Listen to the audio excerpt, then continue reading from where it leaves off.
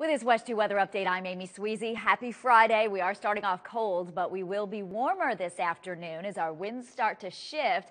They'll be coming in out of the north in the morning, but then out of the northeast through the day. They'll still be cool and dry, but uh, with just a little bit higher humidity and sunshine for today, we will be warmer than yesterday when we climb into the lower 70s area wide. In fact, Palm Coast will be right at 70 for the high, 71 at Daytona Beach, but Orlando and Kissimmee will make it to 74, as well as Clermont and Winter Haven. So overall dry and mostly sunny a pretty nice Friday to start off our weekend. Now, it will be even warmer on Saturday and Sunday as our temperatures climb back to 80 degrees by Veterans Day. Our next best chance for rain happens on Tuesday with our next cold front that slides through the state.